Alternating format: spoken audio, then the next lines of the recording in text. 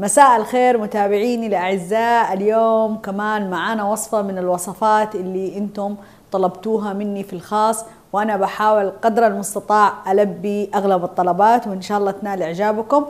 كنتم كلمتوني في الخاص إنكم تبغوا وصفة كيكة خاصة الآن جايين على العيد وأنا الفترة هذه كلها هعمل حلويات وهعمل بسكوت وهعمل كيكات حلوة عشان تبهروا ضيوفكم. اليوم حنعمل مع بعض كيكة البرتقال مع الصوص الخاص فيها.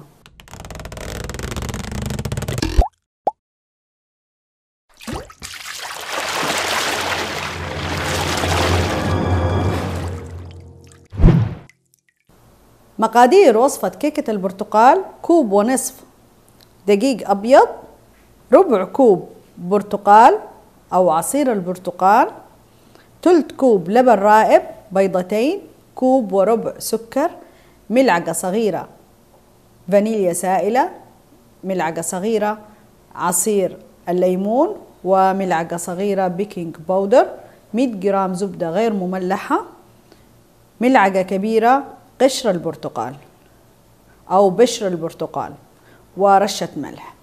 الآن حنعمل مع بعض طريقة كيكة البرتقال. أول شيء طبعا لازم تكون الأشياء برا عشان تكون بحرارة الغرفة. آه بعد ما تكون بحرارة الغرفة حنبدأ. أول شيء حننخل المكونات الجافة زي ما متعودين. ونقيس والقياس لازم تكون مظبوط. شوفوا أنا كيف بمسح كل مرة أرويكم نفس الطريقة. وأحط المكونات كلها الجافة شوفوا أحط ال baking powder معاه كمان وهحط الملح كمان معاه وحنخله. لازم بالكيكات تنخلي الدقيق. والآن بعد ما نخلت المكونات الجافة حركها مع بعض عشان تندمج. لازم الحركة هذه. وبعد كده هعمل بشر البرتقال أو قشر البرتقال. هعمل شوية دقيق من نفس الدقيق ممكن عشان ما أزود. شوفوا.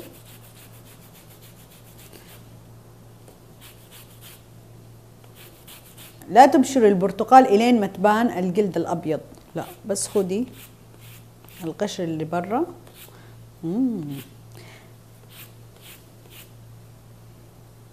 خلاص أنا بكتفي بالكمية هذه. بحركها معه دقيق. وهستخدم من نفس البرتقال العصير حقة الصوص. بعد كده شوفوا الزبدة. ما تكون سايحة تدي علامة في اليد. هنزلها على الزبدية. وأحط كمان عليها السكر. وعشان أكون جاهزة بكل شيء هحط الفانيليا على البيض وأحط الليمون على العصير البرتقال وأقوم بخلط المكونات مع بعض. وبعد ما خلطتها وصارت بهذا القوام حضيف البيض مع الفانيليا بالتدريج. إذا ما كان عندك فانيليا سائلة طبعا ضيفي فانيليا بودر بس بنسبة بسيطة. هخلطه. إلين ما تتداخل معانا البيضة الأولى وتندمج مع المكونات أضيف البيض البيضة الثانية. لا أستعجل.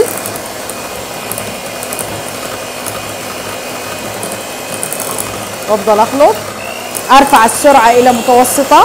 أنا خلاص كده هستكفي بالخلط. طبعا أنا في خليط الكيك ما أخلطه كثير بس إلين ما يصير بهذا القوام خلاص أنا أوقف الخلط عشان ما تنفصل معايا السكر عن الزبدة. إذا أنت اتبعت الخطوات الصحيحة حتطلع لك كيكة طرية وحلوة.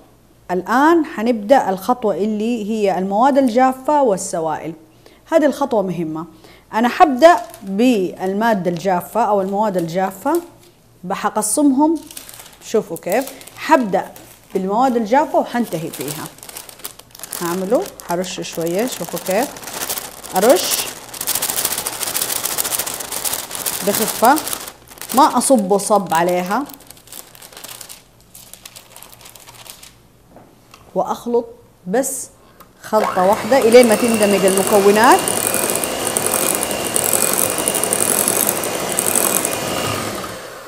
وإذا أقدر أكمل الخليط بيدي يصير أحسن.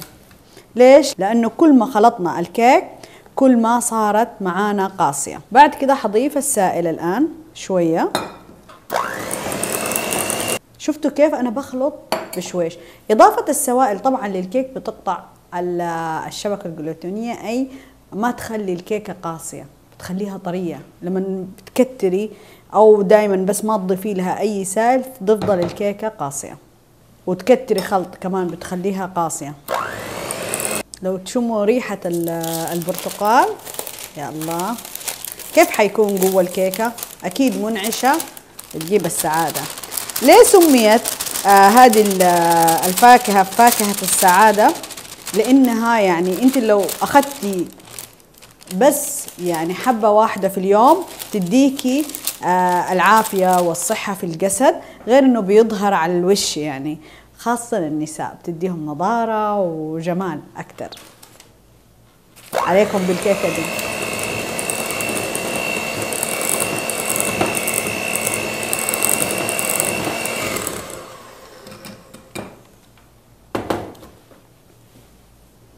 بحاول شوفوا كيف أحط من الأطراف وأحرك بشكل دائري وأقطع من الوسط وأدخل المزيج. أتعامل مع الكيكة بكل لطف. حط السائل كامل الآن.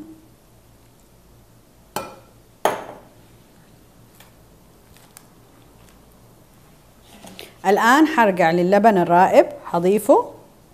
شوفوا بشويش. هخلطه.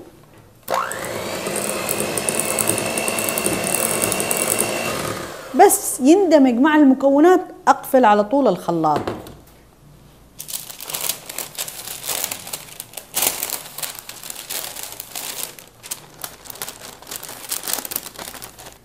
حضيف آخر شيء من اللبن.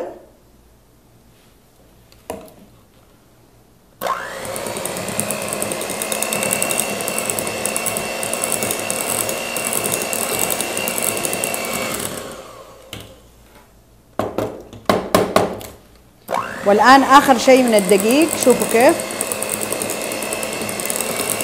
خلاص حقفل وحكمل يدوي في آخر مرحلة. الآن عشان أتأكد إنه الدقيق كله مندمج مع المكونات بروح أفتح كده من الوسط وأقلب من تحت عشان أشوف. لا ما في باين أي دقيق. خلاص أتأكد. آخر شيء وخلاص ما أقلب كثير. عندي الصينية حقت الفرن دهنتها بزبدة وبعد كده عملت ورق زبدة. ما عندك عادي أدهني بزبدة وبعد كده بدقيق عشان تتأكدي. وخلاص وعندي الفرن ساخن. أنا ححطه. خليط من الوسط. شوفوا الخليط شايفين كيف؟ لازم يكون معاكي خليط الكيك. أما ريحتها دمار. كيف عاد هي بالفرن لما تدخل؟ الآن حفرد لأنه الكيكة فيها حواف. حفردها على الحواف عشان تكون متساوية. ما تستوي جهة أكتر من جهة.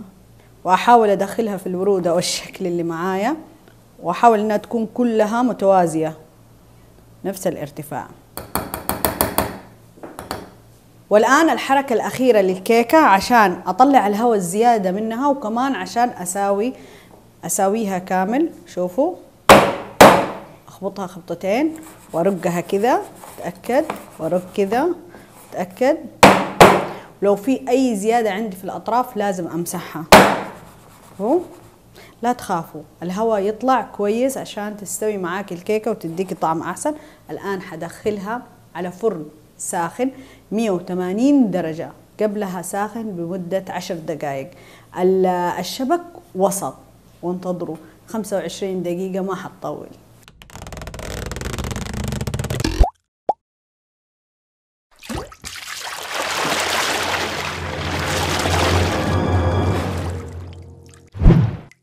وبعد 25 دقيقة استوت معانا الكيكة. شوفوا ما أحلاها وما أحلى لونها. طبعا بعد ربع ساعة تروحي تقلبي الكيكة وأنا حطلع الآن ورق الزبدة بشويش وأخليها تبرد إلين ما تصير بحرارة الغرفة. بعد كده أعمل الصوص.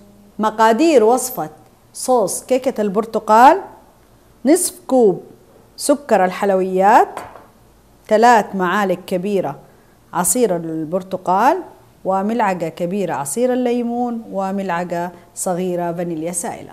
وحطينا السكر البودرة ونخلناه لازم سكر الحلويات ينتخل. شوفوا ليش؟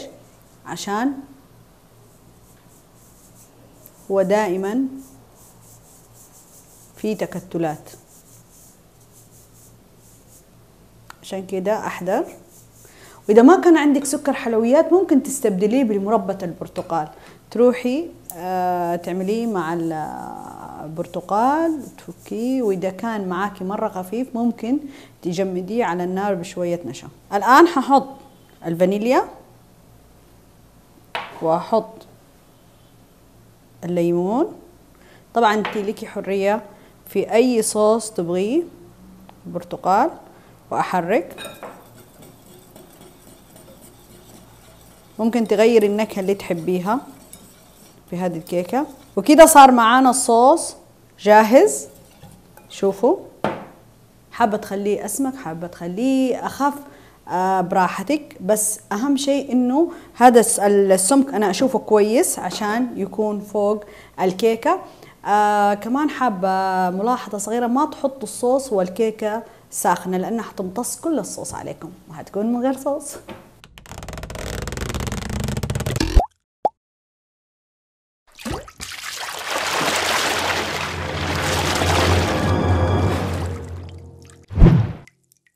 الآن جات المرحلة الحاسمة اللي أنا انتظرها وأنتم أكيد تنتظروها. شوفوا كيف هشة هشة جدا. طرية طراوة. شوفوا من طراوتها. يا ريتكم معايا يعني. والريحة ولا أروع. هعمل شوية صوص.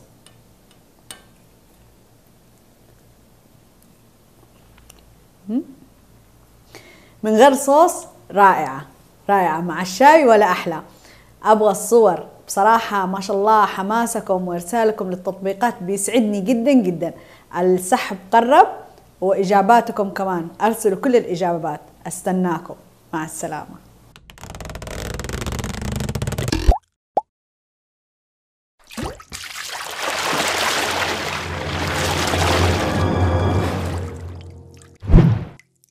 أسئلة اليوم السؤال الأول لماذا نقوم بإضافة السوائل إلى الكيك؟